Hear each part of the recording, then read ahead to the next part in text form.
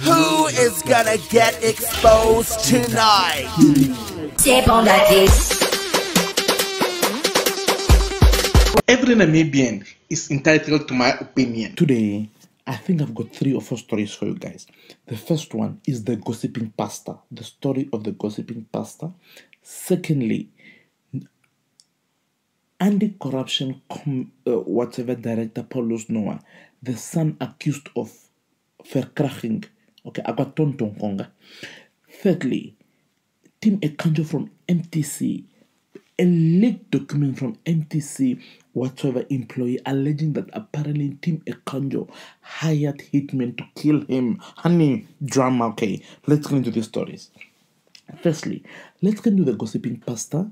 There's a video that is going viral right now of a pastor that is basically preaching, gossiping in church. Awani.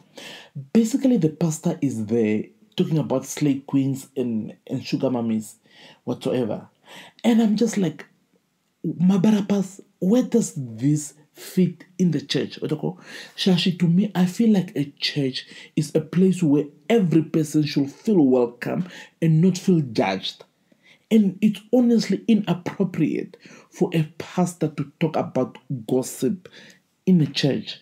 And my question is, where did this pastor hear this gossip about slave queens and sugar penny.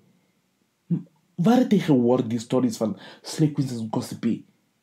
At, I'm sorry to say this, but today's pastors, they're the biggest whatsoever, Shashi. They act all holy and holy, all holy, but behind closed doors, like they're the biggest whatsoever. Uh, I really am not happy. I don't have a problem with the message, Ashiri, but I just don't think it's appropriate for church. This type of things is what we do on Namibia's hot tea, not church. He probably heard these things from hot tea. I won't be shocked if he's, he also heard this from hot tea, but I'm sorry, but pastors and this pastor specifically need to do better. Here's a video of him going on and on about slave queens. And quickly before I play you, why is he acting so hard about this whole drama? And do you guys know that there's a story about that other reverend that is accused of having affairs with male pastors at the at this uh, whatever that pastor school or whatever. Oh yes, I'm not going to mention name, but there's like a story that apparently a pastor Tatiunya that's famous apparently allegedly he resigned because he had. Uh, let me shut my mouth. Let me shut my tramp. Let me not tell you more. Anyways, here's the video of the gossiping pastor. Eh?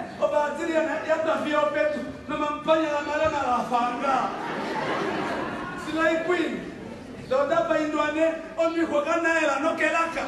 Acho bali me frikone tawa topa nao. Acho tawa topa nao. Akutushi. Manu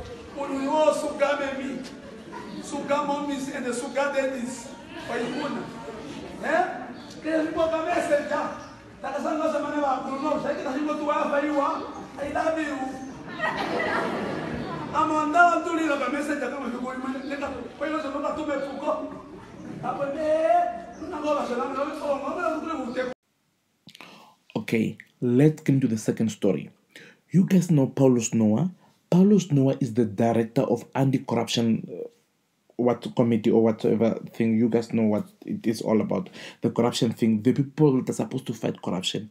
Anyways remember last year he lost a son.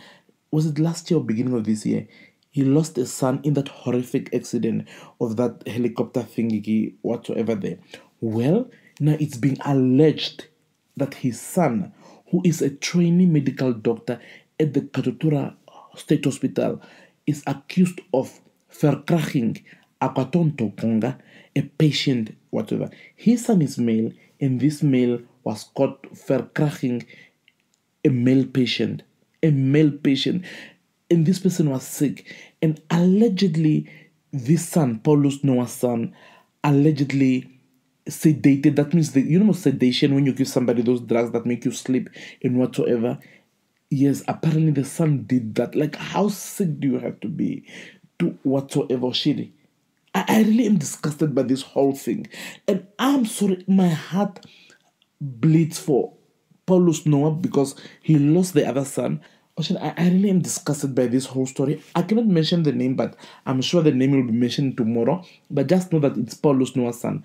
The Namibian Sun newspaper reported the story, but they just said a prominent public figure and they left out a name. Let Hottie do the job for you guys. If you follow me on Instagram, hold on. Why are you guys not following me on Instagram? Because most of the stories that I talk here, I break them there first.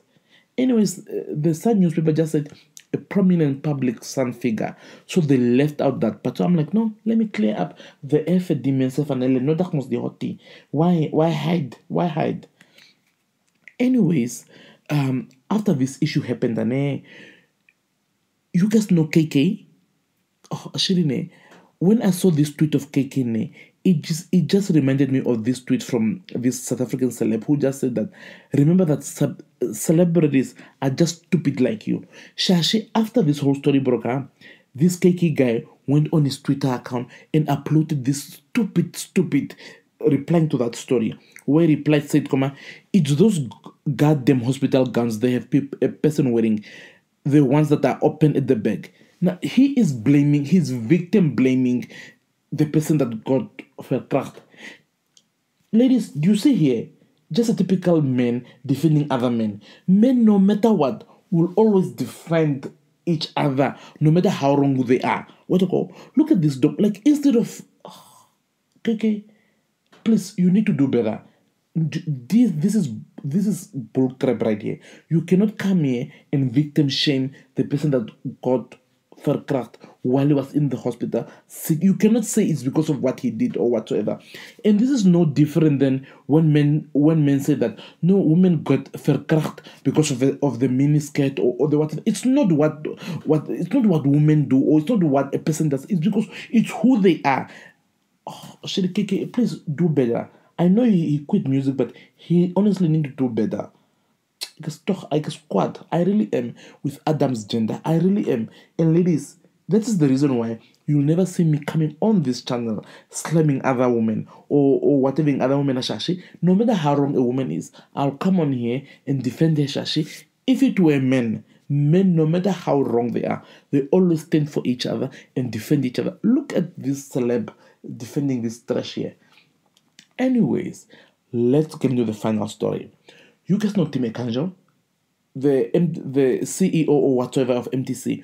Well, there is a leaked document that got a 320 page document that got leaked right now that is alleging I'm actually busy reading the document and I'll make a video summarizing the key points from that document. But the most important thing that I just want to bring for you guys is that this employee was working at MTC and then he noticed some dodgy deals in whatever they reported them and all this and all that. Apparently, because of those dodgy deals, Tim Ekandjo wanted to kill him. Literally, what this document is saying is that apparently, allegedly, let me use. By the way, Tim Ekandjo, I'm just talking about the leaked document, not me. Don't come for hot shashi. Uh-uh. Sorry, I'm just reporting the story. Anyways, this employee is alleging because of the dodgy deals that are happening at MTC, him uncovering this and whistleblowing them, uh, Tim Ekandjo hired a hitman to kill him, or Tim Ekandjo wanted to kill him. Anyways, after this whole docu- document got leaked, uh, MTC released a statement. This statement right here, just uh, denying the whole whatever and making it seem like it's crazy. I'm sorry, I don't know about you guys, but I believe this story 100%. And we all know that SWAPO will go above and beyond to protect one of the one of their own. Oh, remember how Phil um, uh, Sacky Shanghala and this Vilhoga defend, uh, uh, defended themselves against corruption, but look at what turned out. I'm sorry, but I believe this employee, and I believe that Tim Ekandjo tried to have him killed, and I believe that Tim Ekandjo is a very shady man, and you don't get to ah.